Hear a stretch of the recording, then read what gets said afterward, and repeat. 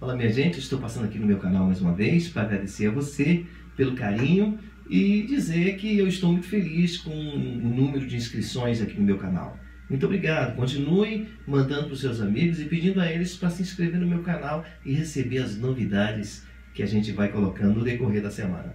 Eu estou passando aqui hoje para poder dar sequência à série de músicas inéditas que eu estou lançando aqui no meu canal para vocês, para vocês avaliarem.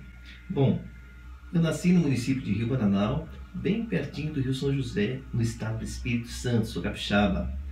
E eu fui ter o meu primeiro violão, eu já era adulto já.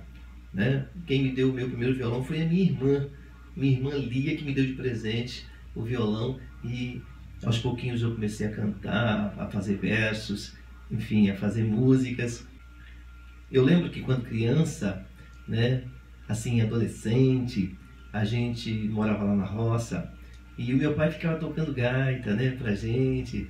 E às vezes chegava uma pessoa que tocava violão, ficava tocando violão, e eu tava pegando assim, os primeiros acordes de violão para me poder, eu era apaixonado, né, para mim poder aprender a tocar. Então eu ficava encantado com tudo aquilo, a gente todo mundo cantando, lá em casa todo mundo cantava, né? E essa época me traz muita saudade, principalmente nessa época em que a tecnologia é, manda em tudo, né? Nós estamos vivendo uma época em que tudo é tecnológico, além de ser uma, uma coisa muito boa, claro, né? É, mas traz uma saudade danada daquela época em que a gente vivia lá no interior.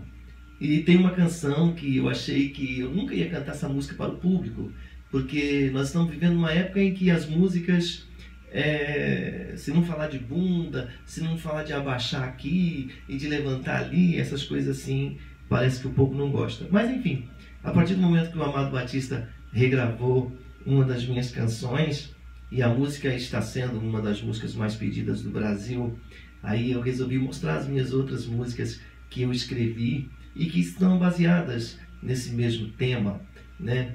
que é o tema da saudade, que é o tema da igualdade, de, de, da gente ser irmãos, né? E eu gostaria de cantar essa canção que eu fiz, baseada lá no meu interior, das lembranças que eu tenho de lá.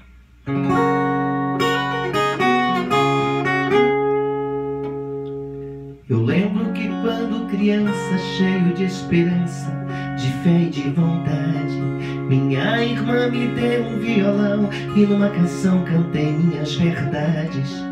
E saí lá do São José, um sonhador com fé, pensando que era fácil. E descobri que o fácil não é fácil. E entre aspas, meu prefácio é o meu mundo de saudade. Uma fogueira, um violão, acordes de uma gaita, meu pai a tocar. A lua na expectativa e uma comitiva de vozes a cantar. Saudade eu tenho quando ouço uma gaita, pois sei que o meu velho se foi. Parece ecoar na estrada, sua voz doce na invernada. Que saudade do carro de boi. Por mais que eu estou no futuro, eu me sinto inseguro e pouco à vontade. Rodeado com tantos recursos, cursando até curso pra felicidade. É como se eu fosse um objeto e atendesse um projeto que a modernidade fez. Ah, eu queria saber menos, brigar menos, odiar menos, ter menos medo, talvez.